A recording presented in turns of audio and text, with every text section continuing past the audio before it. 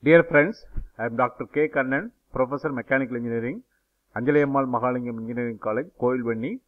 I am happy to meet you again in the video lecture in the subject Operations Research. This is lecture number 4.5, the module in the module PERT and CPM. The topic for the today's discussion is PERT, and, PERT computation and the calculating the critical path of the PERT network. The Learning outcome to the students. At the end of the lecture, the student will be able to find the critical path of the PERT network. We take example number 8. Draw the project network and find the probability that the project is completed in 40 days. The job is 1 to 2, 1 to 6, 2 to 3, 2 to 4, 3 to 5, 4 to 5, 6 to 7, 5 to 8 and 7 to 8.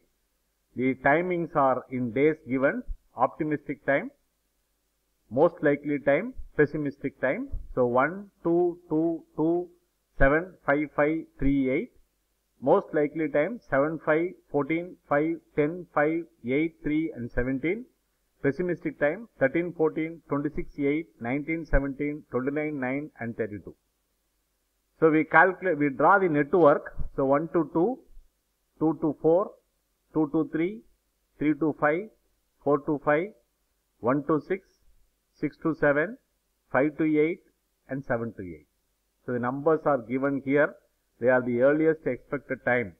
Uh, th these are all the expected time of the activity. So the expected times are calculated in the next table. So the expected time and variance of various activities. The activities are 1 to 2, 1 to 6, 2 to 3, 2 to 4, 3 to 5, 4 to 5, 6 to 7, 5 to 8 and 7 to 8. The TO time, TM time, TP time, the optimistic time, most likely time and the pessimistic time, they are taken from the problem and the expected time. So TE equal to TO plus 4 TM plus TP divided by 6. So it is calculated like 7, 6, 14, 5, 11, 7, 11, 4 and 18. The variance, the variance is TP minus TO by 6 whole square. So this is 6, 13 minus 1, 12 divided by 12 divided by 6 equal to 2, 2 square equal to 4. 14 minus 2, 12 divided by 6 equal to 2 square equal to 4. 26 minus 2, 24 divided by 6 equal to 4, 4 square equal to 16. 8 minus 2 equal to 6 divided by 6 equal to 1 square equal to 1. 19 minus 7 is 12 divided by 6 equal to 2 square equal to 4. 17 minus 5 it is 12 again. 12 divided by 6 whole square equal to 4. 29 minus 5 equal to 24 divided by 6 equal to 4. 4 square equal to 16. 9 minus 3 is 6 divided by 6 equal to 1 square equal to 1. 32 minus 8 equal to 24 divided by 6 equal to 4. 4 square equal to 16. So these are all the variances of different activities. Now for the forward pass computation, the values are given. So in the event, the forward pass computation where TE value, TL values are given in the network, we just uh, calculate the value using the formula. So in the forward pass computation, we calculate the earliest expected time. So TE equal to 0 for the first event. So TE values are written in the left bottom of the event, event circle. And TE2, there are only, there is only one incoming arrow. TE2 equal to TE1 plus TE12 equal to 0 plus 7 equal to 7. TE3, there is only one incoming arrow. TE3 equal to TE2 plus TE23 equal to 7 plus 14 equal to 21. TE4, so again there is only one incoming arrow. TE4 equal to TE2 plus TE24 equal to 7 plus 8 equal to 15. TE5, there are two incoming arrows. So maximum of TE3 plus TE35 equal to 21 plus 11 equal to 32. And TE4 plus TE45 equal to 15 plus 7 equal to 22. So the maximum value is 32 here. And TE6, there is only one incoming arrow. TE1 plus TU, TE16 equal to 0 plus 6 equal to 6. TE7, there is only one incoming arrow. TE7 equal to TE6 plus TE67, 6 plus 11 equal to 17. TE8, there are two incoming arrows. Maximum of TE7 plus TE78 equal to 17 plus 16 equal to 33. And TE5 plus TE58 equal to 32 plus 4 equal to 36. So the maximum value is 30, 36.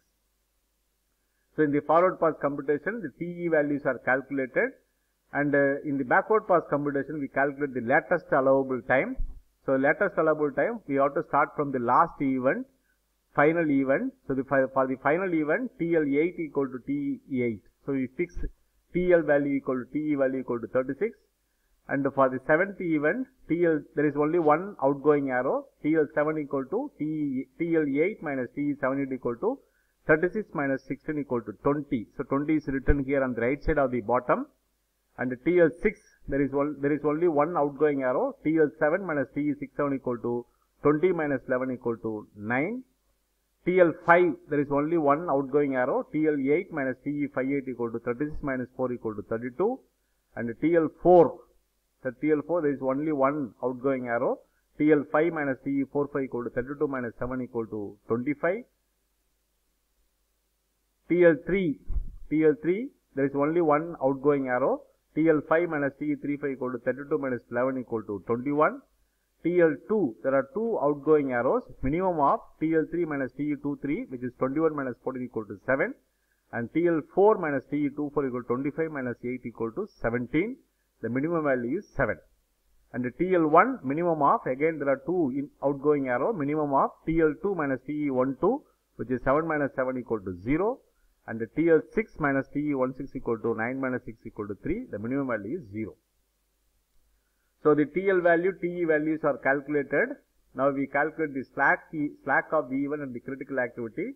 The slack values are calculated by the calculating the difference TL minus TE so here 0 minus 0 equal to 0, S equal to 0. For the even 2, 7 minus 7 equal to 0.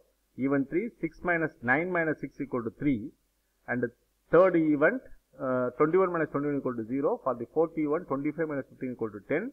Fifth event, 32 minus 32 equal to 0. Seventh event, 20 minus 17 equal to 3. And the eighth event, 36 minus 36 equal to 0. The events 1, 2, 3, 5, 8 have 0 slack. 1, 2, 3, 5, 8 they have 0 slack. They are not as critical events and they should not be delayed. Whereas the event 4 can be delayed by 10 days, event 6 can be delayed by 3 days and 7 can be delayed by 3 days. The event 4, 6, 7 have the slacks of 10, 6 and 3 respectively. They can be delayed by 10 days, 6 days and 3 days respectively. The critical activities are 1, 2, 2, 3, 3, 5 and 5, 8 and the critical path for the network is 1, 2, 2, 3, 3, 5 and 4, 5, 8. This is the critical path. Now we have to calculate the probability of completing the project work in 40 days. So normal deviation we have to calculate Z equal to Ts minus Te divided by sigma. So Ts is the contractual obligation time of the network which is given in the problem as 40 days. TE is the earliest expected time of the network which is 36 days. Sigma is the square root of sum of variances along the critical path.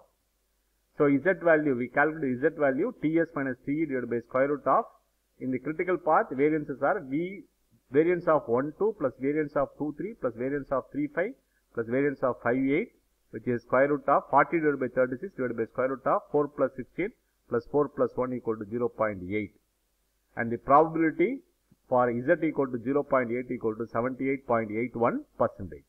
So which is given here 0.8 it is 0.7881 which is 78.81 percentage. So we stop here. So these are all the books I have written in mechanical engineering subject. You may find operation research book. You can refer to the book for additional information on the and CPM. And uh, I upload the video lectures of all the subjects in YouTube channel. You subscribe the channel, use the videos for your better learning. Thank you for watching. Please post your comments on the comments box. You can contact me through my mail ID or WhatsApp number for any clarification on the subject. We'll meet again in another video lecture on the and CPM calculations. Until then, bye bye.